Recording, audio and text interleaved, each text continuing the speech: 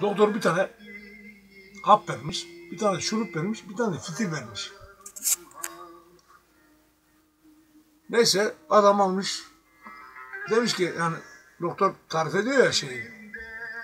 Demiş ki hapı sabah, öğlen, akşam birer tane kullanacaksın. Tok karnı. Tok karnı, aç karnı. Şeyi de Fitili de. yok. Şurubu da sabah aç karnına, akşam tok karnına içeceksin. Tamam. Fitili de demiş ki bu fitilde anüsten kullanacaksın. Tamam demiş. Eve gitmiş. Neyse hapı içmiş, şurubu içmiş. Ulan fitille gelince Takılmış. Anüs ne? Anüs ne? Oradan komşusu demiş ki ya kardeşim telefon aç doktora sor. Açmışlar doktora telefonu. Doktor demiş ki kardeşim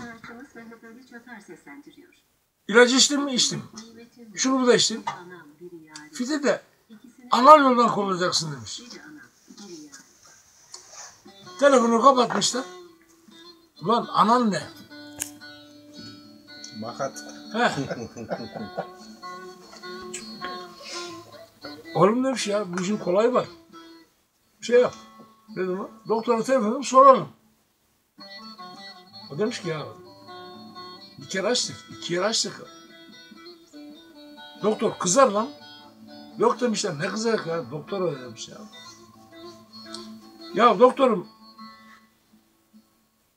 Anüs dedik anlamadık. Ana dedik anlamadık da bunu nasıl kullanacağım? Doktor demiş ki lan götüne sok götüne demiş.